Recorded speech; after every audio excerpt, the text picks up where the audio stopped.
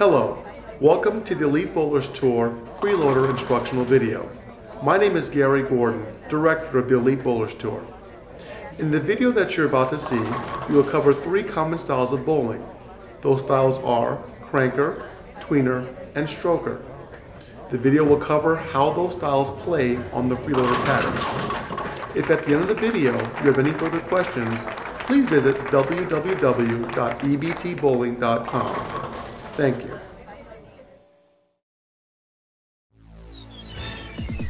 The FreeLoader pattern measures 38 feet in total length. It features a double oiled house shot in the center of the lane measuring from the 10 board to the 10 board and it's bordered by a Christmas tree pattern to the outside.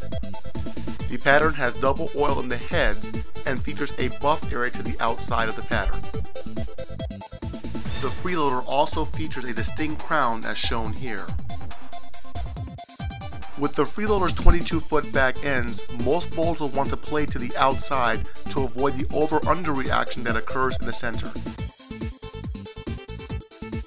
Depending on your rev rate and equipment, the preferred target area is between the 4 and 8 boards.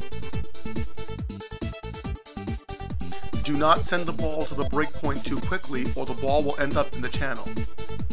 The FreeLoader allows multiple angles of play from playing down and in to an inside line, and even to a more extreme deep inside line. The line you choose should be based upon what other bowlers are doing and how they break the pattern down. There are three types of bowlers we will demonstrate on the FreeLoader pattern. The first, the stroker or straight player, will aim down and in using the first arrow as your target. Use the 4 to 8 boards as your break point and be very firm with your ball speed.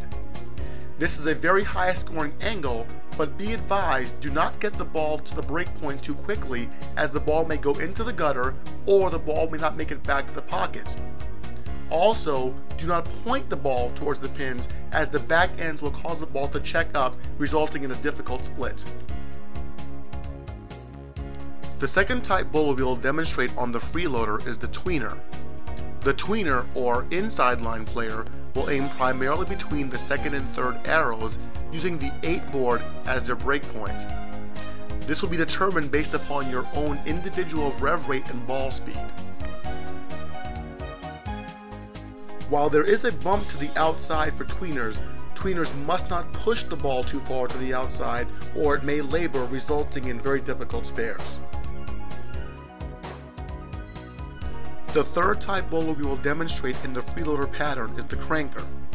The cranker, or deep inside line player, will target between the third and fourth arrow using the 5 board as your breakpoint.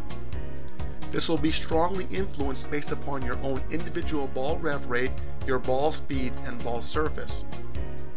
The biggest concern for crankers will be bowlers to the outside of them pushing oil into their breakpoint. As long as the cranker stays ahead of this transition, he will find this pattern easy to play. Let's review the main points of playing the FreeLoader pattern. First, have good firm ball speed. Second, do not push your ball to your target early. Third, do not pull your ball away from your target. And lastly, stay ahead of the transition and carry down. Thank you for watching the Elite Bowlers Tour FreeLoader instructional video. We hope you found this video educational and informative. As always, Elite Bowlers Tour encourages all bowlers to bowl in a USBC sanctioned sport league. Thank you for watching. Have a good night.